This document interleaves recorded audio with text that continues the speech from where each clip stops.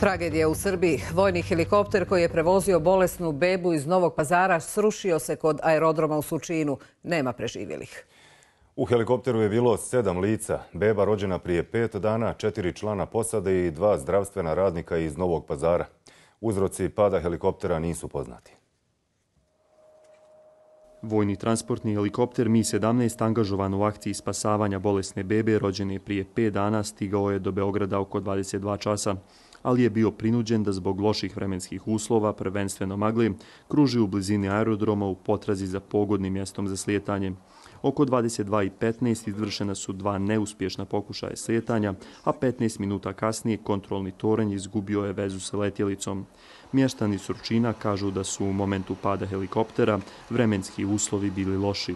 Oko 9, pola 10, tako da avion kružio okolo, bila je magla, padala kiša. Ja sam čuo neki prasak, međutim, da li je to bilo to ili nije, ja ne mogu da tvrdim.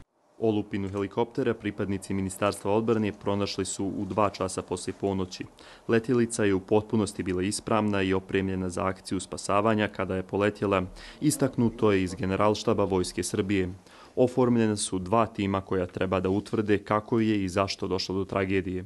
Odgovornosti ima. Ja je osjećam.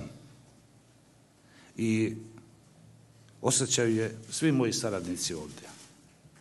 Ne delimo je. Svako je odgovoran za svoj deo.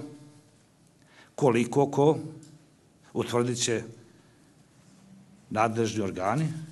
Stradali pripadnici vojske do sada su spasili hiljade života iz mećava, požara i poplava. Zgubili smo prijatelje, kolege, nastavnike, instruktore i heroje koji su više puta nagrađivani i odlikovani sa svih nivoa za herojske podvige koje su učinili. Akcija spasavanja bebe počela je sinoć oko 21 čas, kada je odron presjekao put sanitetu koji je prevozio bolesnu bebu iz Novog pazara u Kragujevačku bolnicu. Dijete je imalo probleme sa disajnim organima i bilo je u teškom stanju, a postojela je opasnost da ostane bez kiseonika na putu, jer su zalihe bile pri kraju. Helikopter Vojske Srbije preuzeo je bebu i zaputio se prema aerodromu Nikola Tesla. Nekoliko časova potom desila se tragedija. Vlada Srbije nedjelju je proglasila proglasila danom žalosti.